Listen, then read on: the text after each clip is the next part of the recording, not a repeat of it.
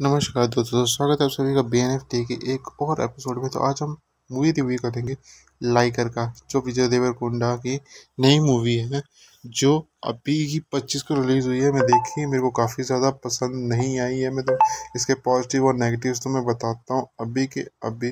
और जब तुम सुनोगे ना, मुझे तो यकीन नहीं होगा। मैं तुम्हें बताता हूँ कि तुम्हें मूवी देखनी क्यों चाहिए क्यों क्यों नहीं देखनी चाहिए ठीक है? इसकी बात आती है, ठीक है? तो मूवी की सीधी कास्ट में आते हैं। विजय देवरकोंडा, अनन्या पांडे, माइक टाइसन राम रमाया कृष्णन, ठीक है? और रोनित रॉय, ठीक है? ये है अपनी कास्ट। और मेरे को सीरियसली बोलूँ तो मेरे को समझ नहीं आता कि और मूवी है पूरी जगन्नाथ की।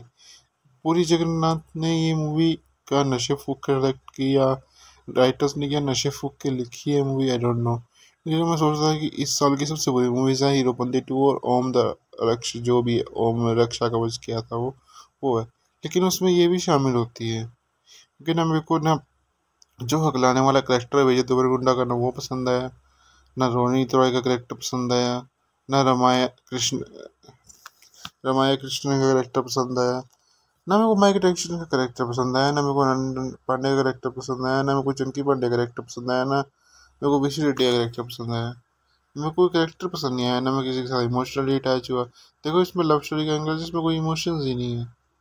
इसलिए बोल रहा हूँ एक ऐसी मूवी जो एमएमए और लव स्टोरी पे चलो अराउंड करती है, उसमें इमोशंस ही नहीं है ब्रो कैन यू इमेजिन यार? उसमें इमोशंस ही नहीं है। और एम एम एम के बारे में दिखाया, चलो मान लेते हैं एम के बारे में दिखाया, अच्छे से। पर उसमें स्टार्टिंग के तुम्हें ऑलमोस्ट मैं बोल रहा हूँ thirty two thirty five minutes तो एम की एक फाइट तक नहीं दिखेगी। एम भी मूवी है ये। मिक्स मार्शल आर्ट की मूवी है उस पर कुछ नहीं बताया। और फाइट सीन जब आते हैं तो अच्छे, मैं मानता हूँ अच्छे फाइट सीन लेकिन जब आते हैं तो जल्दी जल्दी ख़त्म कर देते हैं। लव स्टोरी को जाते हैं दोबारा से बीच में। ना लव स्टोरी में सेंस मिल रही है, ना कुछ। क्या है क्या है, क्या नहीं है, समझ नहीं आता, ठीक है? कैसे प्यार हुआ, कैसे ख़त्म हुआ, मैं समझ नहीं, कुछ समझ नहीं आया। ना किसी की एक्टिंग पसंद आई, और हिंदी डब हमें कुछ खास पसंद आया। चाहे डब है, जैसे मैं शूट भी किया उन्होंने बोलते हैं लेकिन मेरे को कतई पसंद नहीं है हिंदी भी। क्योंकि मज़ा नहीं आया कुछ।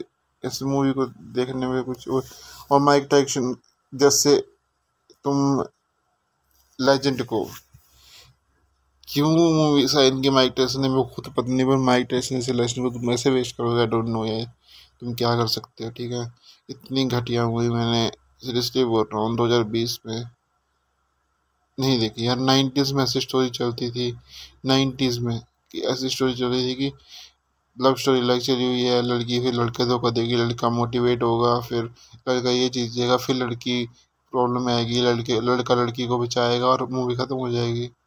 इसको पता ही नहीं है यार मूवी कब ख़त्म होनी है। मेरे को समझ नहीं है कि मूवी की एंडिंग थी तो थी क्या।